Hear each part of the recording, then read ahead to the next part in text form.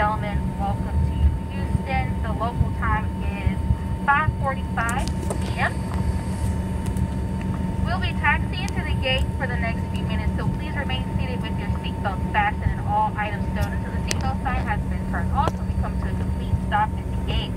Please make sure you have all of your personal belongings and make sure you check the surrounding areas, the floor, seat back pocket for any personal belongings. Please make sure you're careful when you open the overhead bins as items may have shifted during the flight. You are now free to use your mobile devices and small lightweight devices in transit mode. If you are connecting to another flight, please check the United app on your mobile device to see the airport displays for up-to-date flight status and gate information. If you check a carry-on bag or receive a green tag for the luggage, you may claim your carry-on baggage at the ramp jetway.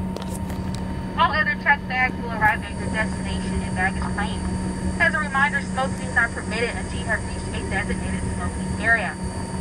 In order to promote social distancing, we will arrive at the gate and the seatbelt sign has been turned off. We will be departing the aircraft in groups of five rows at a time, beginning with the front of the aircraft in order to avoid congregation on the jetway.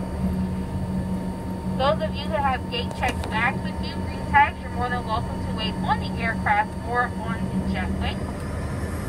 If you do not leave this aircraft, if you do not want to leave the aircraft and wish to be seated and wait on the plane, please feel free to do so.